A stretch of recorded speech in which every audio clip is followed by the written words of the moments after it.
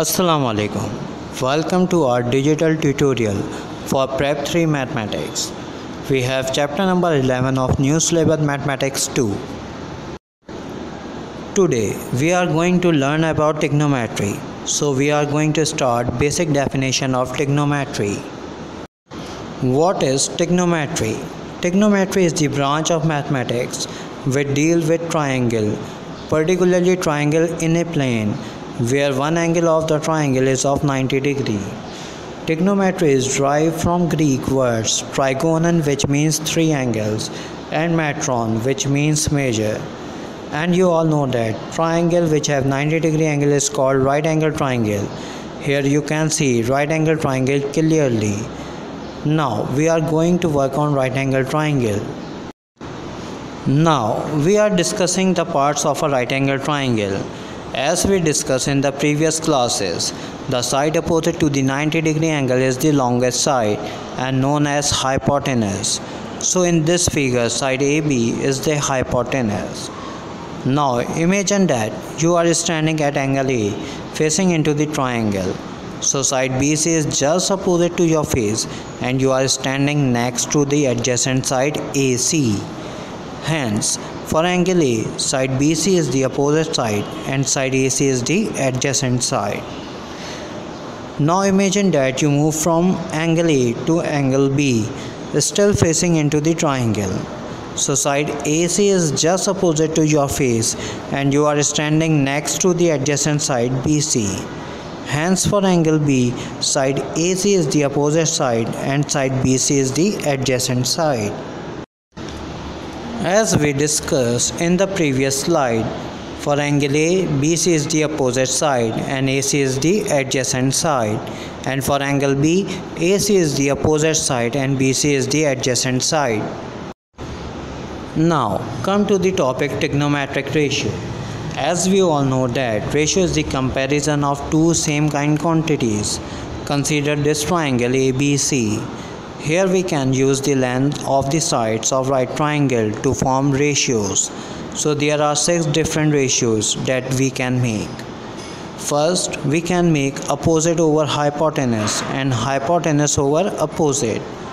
Then we can make adjacent over hypotenuse and hypotenuse over adjacent. Then we can make opposite over adjacent and adjacent over opposite. Each of these six ratios has a name which refers to an angle. Consider angle A. For angle A, ratio opposite over hypotenuse is known as sine of angle A and the ratio hypotenuse over opposite is known as the cosecant of angle A. We can also say that cosecant is the reciprocal of sine. Now, the ratio adjacent over hypotenuse is known as the cosine of angle A and the ratio hypotenuse over adjacent is known as the secant of angle A. So we can also say that secant is the reciprocal of cosine. The ratio opposite over adjacent is known as the tangent of angle A and the ratio adjacent over opposite is known as the cotangent of angle A. So we can also say that cotangent is the reciprocal of tangent. If the angle changes from A to B, the way the ratio are made is the same. For angle B, the ratio opposite over hypotenuse is known as sine of angle B and the ratio hypotenuse over opposite is known as the cosecant of angle B. In a similar way, the name of the ratios remains same. The ratios sine, cosine and tangents are the most common and basic ratios among these six while cosecant, secant and cotangent are the reciprocal of sine, cosine and tangents respectively. Each of these ratios has an abbreviation. Now, easy way to remember sine, cosine and tangent ratios is to use SOH, CAH and TOA. For SOH, as sine is opposite over hypotenuse, S represents sine, O represents opposite and H represents hypotenuse. Similarly for CAH, as cosine is adjacent over hypotenuse, C represents cosine, A represents adjacent and H represents hypotenuse. And for TOA, as tangent is opposite over adjacent, T represents tangent, O represent opposite and A represent adjacent. Let's take this example for the better understanding. We have triangle ABC where AB is the hypotenuse of 10 units and the other two sides BC and AC are of 6 and 8 units respectively. First we will find the sine, cosine and tangent ratios for angle A.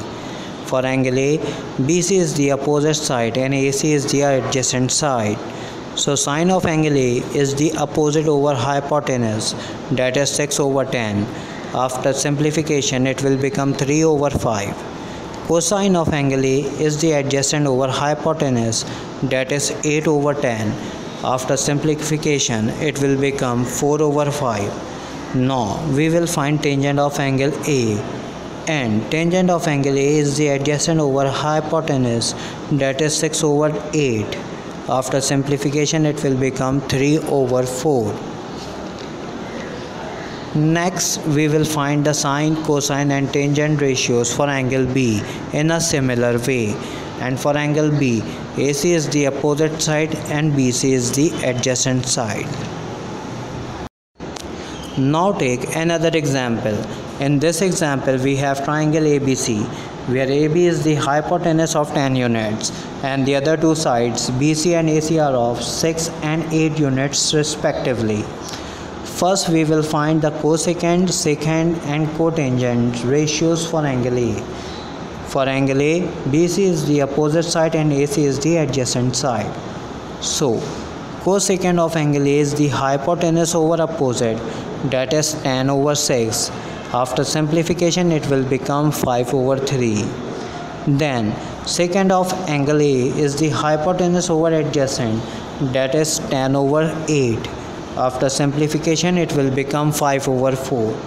Now we will find cotangent of angle A and cotangent of angle A is adjacent over opposite that is 8 over 6.